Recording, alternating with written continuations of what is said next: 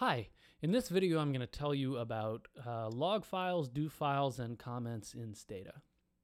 So these are all tools to help you document the work that you've done and which make it easy for someone else to replicate your work later. I'm going to start by telling you about log files. So to show you about these, I'm just going to pull up the help file for logs. I go help log, and you can see echo copy of session to some file. So uh, there are a lot of options down here for what you can do, but uh, the ones I want to highlight for you are log using file name. So when you do this, you give it a file name, you tell it where to store the session log, and it's going to log everything which appears in this results window. So that means you're going to get a copy of your commands that you type because those show up in the results window, and you're also going to get a copy of whatever Stata told back to you after you ran those commands. So one thing you should know about these log files is that by default they're in .smcl, .smcl format, which can only be opened in Stata. So you just want to be aware of that. Uh, the other thing that I want to show for you here is command log. Uh, so command log does something very similar. It keeps track of all the commands that you typed during your session, but it doesn't keep any of the results from your commands. And this is going to save your commands in a .text file, which is easy to open and everything. Uh, so, so command log, I always like to use this whenever I'm working in data that I haven't really worked with before, where I'm, I'm sort of exploring and trying to figure out what things to do because this lets me keep a record of all the things which I did to the data, which is as easy as possible to read. Uh, so to give you an example, I'm just going to click out of this and we'll open up a command log. So I've already set my current directory to be the desktop. So I'm just going to call this blah. So command log using blah, and now there's a .text file called blah.txt on my desktop. If I like click over here to my desktop, you can see it showing up. So I go back over to Stata, and now I can type in some commands. So you'll notice I had affairs.dta, a Wooldridge data set on my desktop. So I can use that data set. I bring it in, you can see the variables come in. I can summarize the stuff in that data. I forgot to set more off. Uh, so I get this stuff here. Just going to set more off now. Uh, and then after that, uh, I could leave myself a comment saying, don't forget to set more off next time. So comments you can leave by just putting a star in front of everything that you want to say. Obviously, if I just type this in without the star, Stata would think I was typing some command and it would give me an error message because it wouldn't understand what I was trying to type.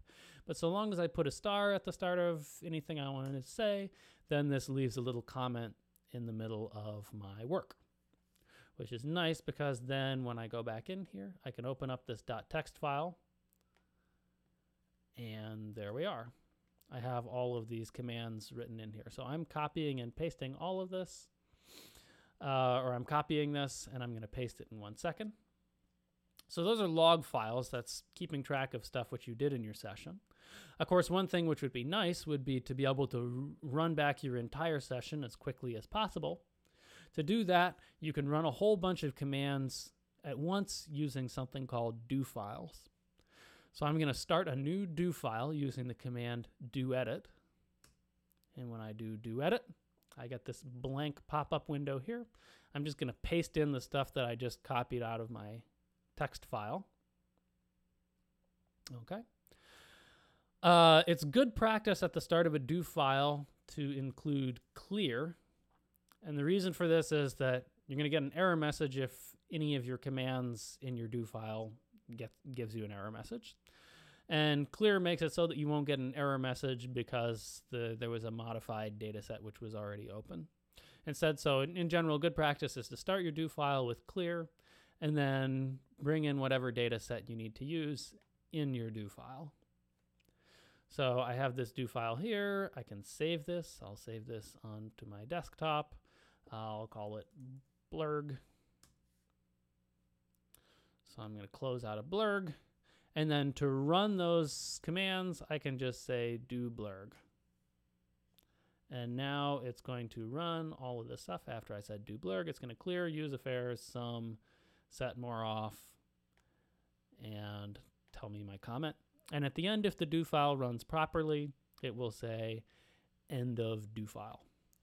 So I showed you, so do edit allows you to create a new do file. If I wanted to edit an existing one, all I have to say is do edit, and then I tell Stata which do file I want to edit.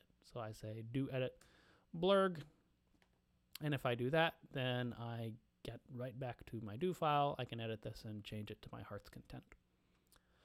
So do files are really useful if you want somebody else to be able to replicate your work.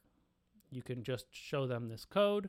They can run the code at their own convenience. You can see it takes them very little time to just run this file, which is already existing. Uh, and of course, obviously, comments become important in a do file because if you're trying to explain your work to other people or to your future self, uh, these are a great, great way for other people to see uh, see the explanation for what you decided to do or your comments on the results which you're getting out of this file. So that's log files, do files, and comments.